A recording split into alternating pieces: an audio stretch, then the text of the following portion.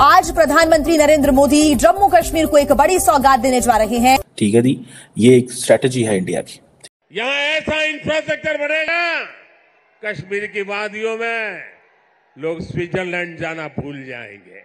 India के prime minister Narendra Modi ने electric train का आगाज़ कर दिया है जम्मू कश्मीर में। पाकिस्तानी हमें सारा दिन में तीन तीन मिर्गी के दौरे पड़ते हैं। जम्मू को एम्स और आईआईएम जैसे संस्थान की सौगात। सुबह उठते हैं हम कहते हैं हमारे में ये प्राइम मिनिस्टर मोदी का अपने टेन्योर में इन 10 सालों के अंदर दूसरा विज़िट होने वाला है जम्मू कश्मीर के दोपहर को हम गजनवी बन जाते हैं। जम्मू कश्मीर के लोग जो हैं वो बहुत ज़्यादा खुश हैं। हमारा जो हिंदुस्तान है वो सैतालीस में आज़ाद हुआ लेकिन मैं दावा से कहता हूँ कि हमारा जम्मू कश्मीर पाँच अगस्त 2019 को आज़ाद हुआ है। रात दो ड्रिंक लाके पंजाबी बन जाने दिन में तीन तीन दौरे पड़ रहे आइडेंटिटी का पता ही नहीं है कौन। वो तकरीबन 2010 11 12 में बता चुके थे हमने ये करना है कर देखा। सबसे पहले जो आपकी चीज़ बंद है पच्चीस करोड़ों की आपके दिमाग बंद है। अब भारत वाले भी हमारा मज़ाक उड़ा रहे हैं और हम तो खैर उड़ाते ही रहते हैं तो इसलिए कोई खास बात नहीं है हम भी हंस रहे हैं अपने ऊपर। पाकिस्तान की जो गवर्नमेंट हमें मतलब कुछ भी हमारे फंड्स आ रहे हैं आपके पाकिस्तान के पास मतलब आप हमारे फंड्स का हमारा पाकिस्तान है आपका नहीं है आपका कश्मीर है। हमारा कश्मीर है। मतलब आप पाकिस्तान के को मतलब वो जैसे वो कहते हैं कि वो जम्मू एंड कश्मीर वाले कहते हैं हम इंडियंस हैं तो आप पाकिस्तानी नहीं है। हम कश्मीरी हम पाकिस्तानी नहीं ये देख ले दोस्तों ये लाइव सबूत है। इंडिया के प्राइम मिनिस्टर नरेंद्र मोदी जम्मू कश्मीर के विज़िट पर थे उन्होंने जम्मू कश्मीर के लोगों को बत्तीस हज़ार करोड़ के तोहफे दिए हैं डिफरेंट प्रोजेक्ट्स की सूरत में जिनमें सबसे बड़ा प्रोजेक्ट रेल का निज़ाम था।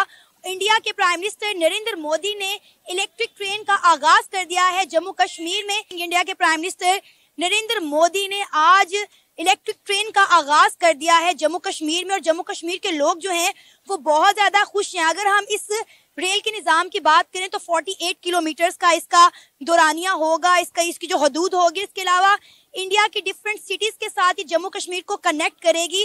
क्या कहना चाहेंगे? जम्मू कश्मीर के लोग जो हैं, वो बहुत ज़्यादा खुश हैं। पहले भी इंडिया में रेल का निज़ाम था, लेकिन इलेक्ट्रिक ट्रेन जो इंडिया को जम्मू कश्मीर के साथ कनेक्ट कर रही है, क्या कहना चाहेंगे इस पर? Thank you so much for having me बहुत शुक्रिया। अच्छा पहली बात तो ये है कि इंडिया के वजर को कहा गया कि ये चाय वाला है। बिल्कुल। कमाल कर दिखाया चाय वाले ने। हिम्मत है किसी की कोई इस तरह करें? पहली बात। दूसरी बात यह है कि नरेंद्र मोदी का प्लान कोई आज का नहीं है। वो तकरीबन 2010 11 12 में बता चुके थे हमने ये करना है कर दिखाया।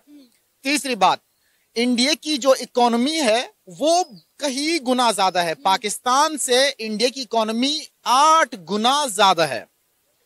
इंडिया की इकोनॉमी सैतीस सौ बयालीस बिलियन डॉलर्स है।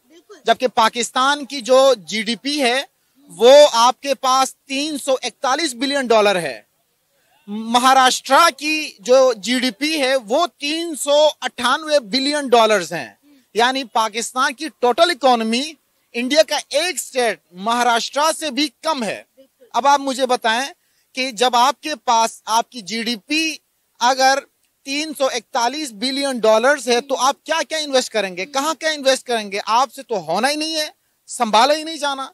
जो सैतीस बिलियन डॉलर्स की इकोनॉमी है वो बहुत कुछ कर सकता है। उनका विजन बड़ा ब्रॉड है। अब आपने बात की रेलवे की। शुक्र है कि गोरू ने पाकिस्तान में रेलवे ट्रैक बिछाया। अगर गोरे यहाँ नहीं होते तो हमारे पास जो हमारे पास ऑलरेडी स्टील मिले वो भी खा जाते।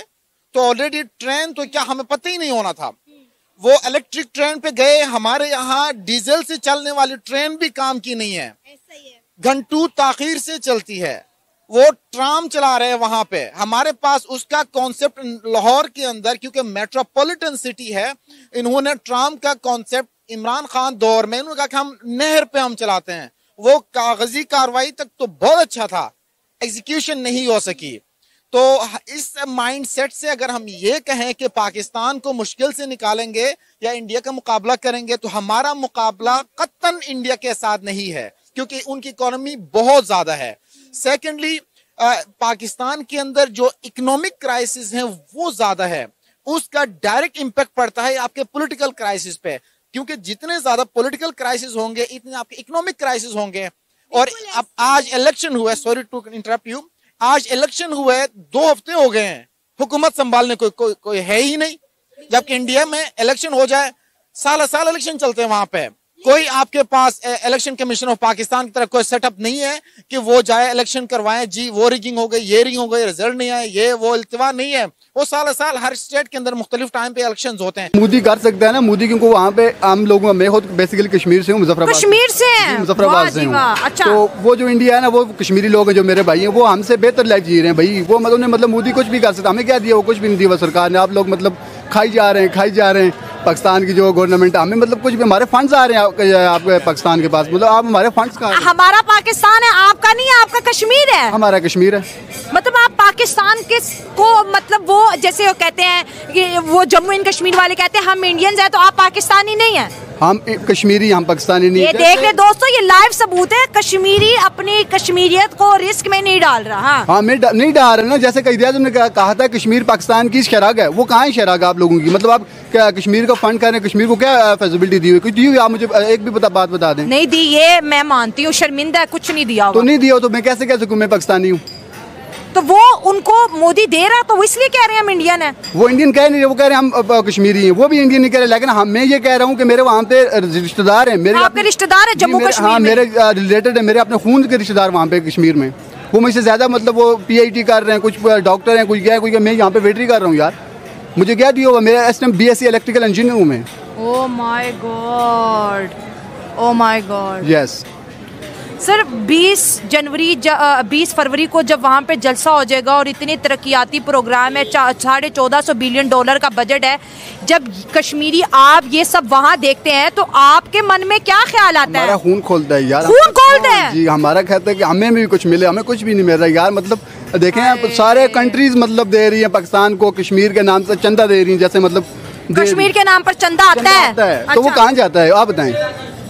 सवाल है मेरा वो कहाँ जाता है? आप लोग बताएँ आपके सर मतलब यहाँ तो कहते हैं कश्मीर पे जुल्म हो रहा है जम्मू कश्मीर पे मोदी जुल्म कर रहे हैं हिंदू जुल्म कर रहे हैं। हकीकत तो ये है कि आप जैसे कह रहे हैं कि वो तरक्की करता है हम कहते हैं हमें भी दो कुछ। जुल्म उन पे हो रहा है जो खुद जुल्म करवाना चाहते हैं मेरी बहन। अच्छा।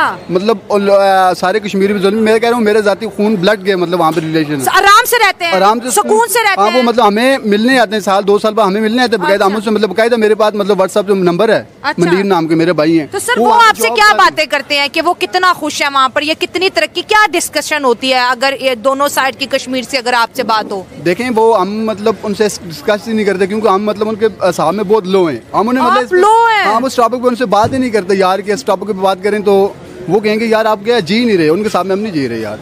वो का, इंडियन कश्मीरी कहते हैं कि पाकिस्तानी कश्मीरी नहीं जी रहे? नहीं जी रहे। हाँ जी। ओए होए।